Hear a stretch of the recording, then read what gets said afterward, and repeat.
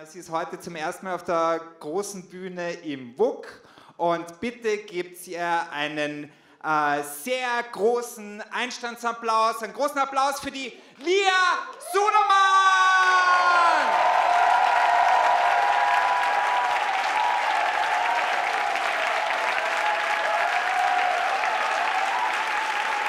Danke. Danke.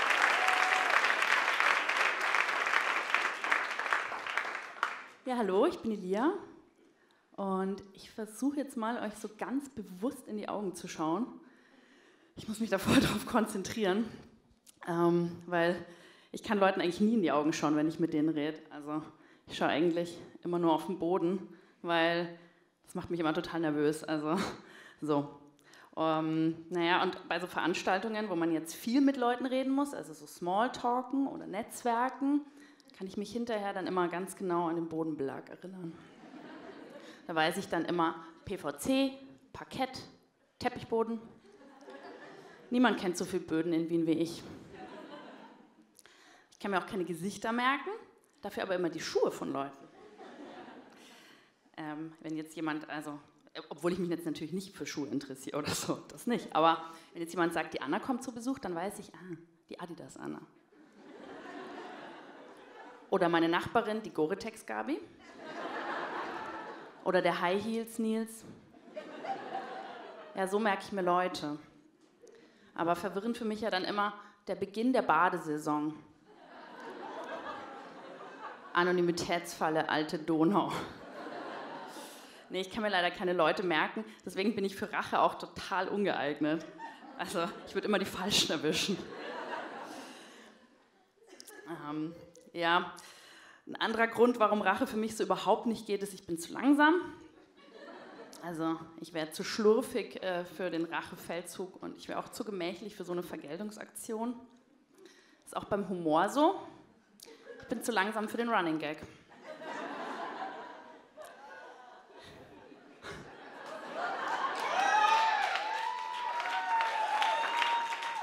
Nee, Rache ist echt ein Fremdwort für mich. Also das ist so ein Fremdwort, da muss ich dann überhaupt nicht Vendetta sagen. Vendetta, da bin ich netter. ja. Vielleicht zu nett aber auch, weil, also, es ist ja so, ne? Ich ähm, denke immer, ich bin schuld an allem. So. Und dann bin ich so super erleichtert, wenn ich es nicht bin, sondern jemand anders. Da ist dann natürlich irgendwie an Rache überhaupt nicht zu denken. Ja. ja. Nee, ich bin so jemand, ich entschuldige mich dann auch noch im Autoscooter. Ja, Schuld, Scham und immer nett sein müssen. Das ist so der Restmüll weiblicher Sozialisierung. Ja, ich habe ich hab ein geschlechtes Gewissen. Aber ja, ist so. Das habe auch nicht nur ich.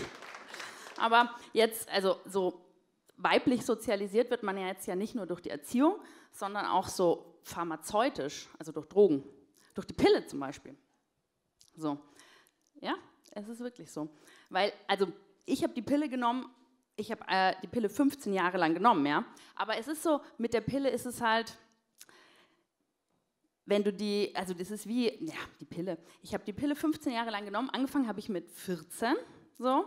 Da hatte ich noch überhaupt, da hatte ich noch überhaupt keinen, äh, keinen Sex. Da hatte ich auch meine Periode noch nicht, ja.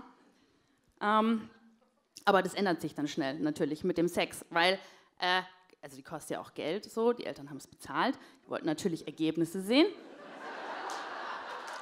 Ja, ja. Aber Ergebnis ist in dem Fall natürlich kein Ergebnis, ja? Nicht schwanger werden. So.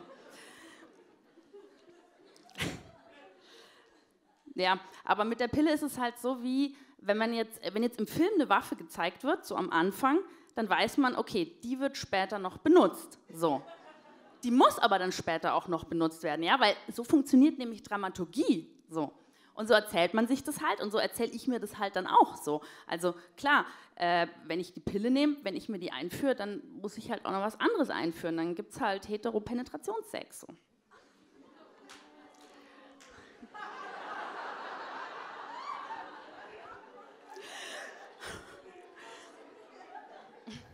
Was ich aber nicht wusste, ist, dass das meine Libido so einschränkt. Also das steht schon drauf auf dem Beipackzettel, ne? aber dass das dann wirklich passiert, ich meine, naja, also klar, irgendwie, ich hatte ja keinen Vergleich. Ich wusste ja jetzt nicht, wie meine Libido wäre, wenn ich die Pille nicht nehme. Ja? Aber auf dem Beipackzettel, das ist halt dann ja, so diese ewig lange Nebenwirkungsliste. Und ich meine, da gehe ich halt durch wie durch so Datenschutzverordnungen im Internet. Ja? Äh, das überfliege ich halt so und klicke dann auch auf, ja, einverstanden, passt schon. Mal weiter. Und die, und die Nebenwirkungen, die sind dann so, das sind dann so die, die Cookies der hormonellen Verhütung.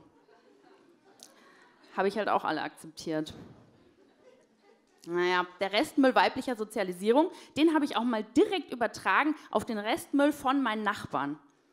Weil das war nämlich folgendermaßen. Also ich habe in Köln in so einem Mehrfamilienhaus gewohnt, so im ober obersten Stockwerk. Und meine Nachbarn, die haben immer ihren Müll vor die Tür gestellt, um ihn dann mit runterzunehmen. So. Und dann sind sie in Urlaub gefahren und haben den vergessen. Und dann stand er da und hat halt das ganze Treppenhaus vollgestunken. Und ich habe jeden Tag gedacht, jetzt muss ich aber mal der ihren Müll mit runternehmen. Aber irgendwie habe ich es dann die ganze Zeit wieder vergessen. So. Und ich mir gedacht, ach Mann, okay, jetzt stelle ich meinen eigenen Müll abends raus, damit ich morgens dran denke, dass ich der ihren Müll auch mit runternehmen. So. Aber am nächsten Morgen waren dann beide Müllsäcke weg, weil dann sind die in der Nacht zurückgekommen und haben ihren Müll selber rausgetragen und meinen noch mit dazu. Aber das war mir so unangenehm. Boah, ich habe richtig schlechtes Gewissen gehabt und dann habe ich einen Entschuldigungsbrief geschrieben und habe den so habe den dann so zusammen mit so Schokoriegeln an so einen Bindfaden gebunden und das Ganze dann so an so einen Türknauf gehängt von denen halt. Und äh, ich gedacht, ah. aber dann haben sie bei mir geklingelt und wollten mit mir reden und haben gesagt, äh, dass sie das super weird fanden und dass sie dachten, ich mache mich über sie lustig oder ich verarsche sie oder so. Naja, ich bin dann ausgezogen.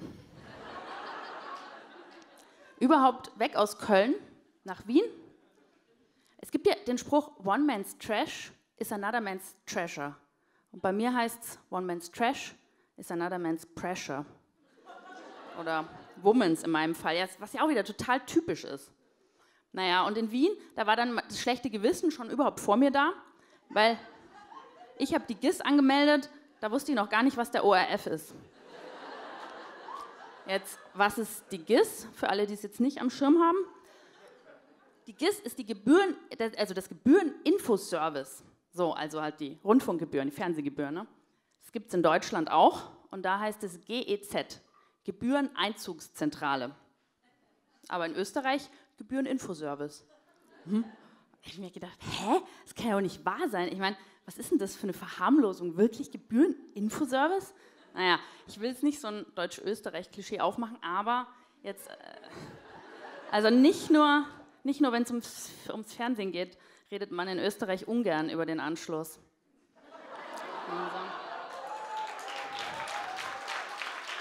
Was? Ich habe nichts gemacht. Nee, nee. Der Fernseher ist einmarschiert in meine Wohnung, hat sich von alleine angeschaltet. Was hätte die machen sollen? Habe ich halt zuschauen müssen.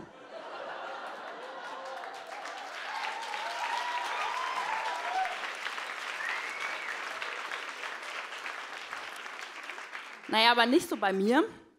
Also, ich habe ja die GIS quasi präventiv angemeldet, obwohl ich überhaupt keinen Fernseher habe. Weil meine Angst ist folgende, dass die GIS an meiner Tür klingelt und dass ich das denen dann sagen muss, dass ich keinen Fernseher habe und dass die dann total enttäuscht sind. Und dass die dann so sagen so, was? Wieso? Haben Sie keinen Fernseher? Folgt Ihnen unser Programm nicht? Machen wir was falsch. Zu viel, zu viel Barbara Karlich, zu wenig Alternative. Nein, ich würde sterben. Ich würde sterben, aber der Gissmann, immer noch besser als der Zismann.